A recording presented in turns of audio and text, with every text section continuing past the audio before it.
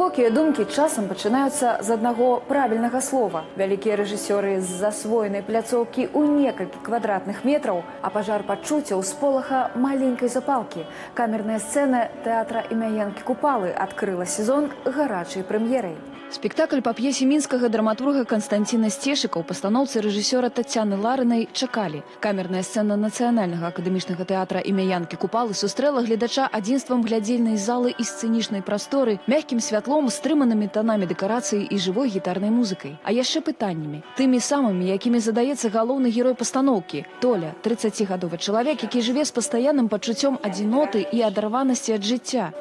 Я нормальный.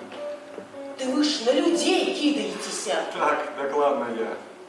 Ён захоўвае ў сябе скрынак з пагарэлымі запалкамі і нібы гэтыя запалкі гэтак жа беражліва захоўвае былыя мары, надзеі, спробы пошуку сябе. Чорна-шэрая гама касцюмаў, мінімалістычнасць дэкарацый, напружаная і трапяткая музыка ў выкананні Михаіла Зуя і Дмітрая Ясеневіча робяць свет, у якім жывуць героі амаль бязважкім, пераносячы акцэнт п'есы на душэўныя рухі і парывы. Месца, дзе адбываецца дзеянне, прыпынак, лаўка ў парку, бальнічная палата, абрывачнасць і нязграбнасць дыялогаў, скупасць жэстыкуляцыі акцёраў усё гэта яскрава сведчыць аб раз'яднанасці людзей, непрыкаянасці кожнага з іх, а асабліва галоўнага героя. Сам сюжэт пастаноўкі не занадта складаны. У толі памірае сябар Максім.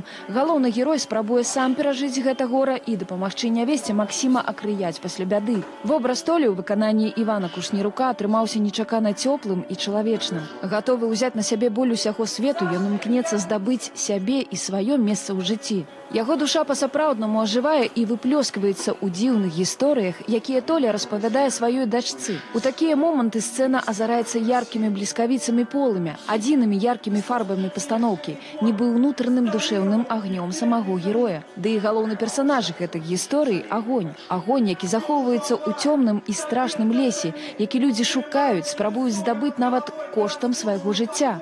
Але кожны раз гісторыя абрываецца і пошук застаецца незавершаным як застаецца незавершаным і пошук адказу на шымлівыя душу пытанні. Заканчваецца пастаноўка нечакана і чакана смерцю галоўнага героя, а яшчэ апошняй гісторыі пра чалавека, які аддаў агню ўсё, што было ў яго мінулым і ў сучаснасці, а потым і самога сябе, але не абугліўся нібы запалка, а змяніўся і знайшоў выхад са змрочнага лесу адзіноты і болю.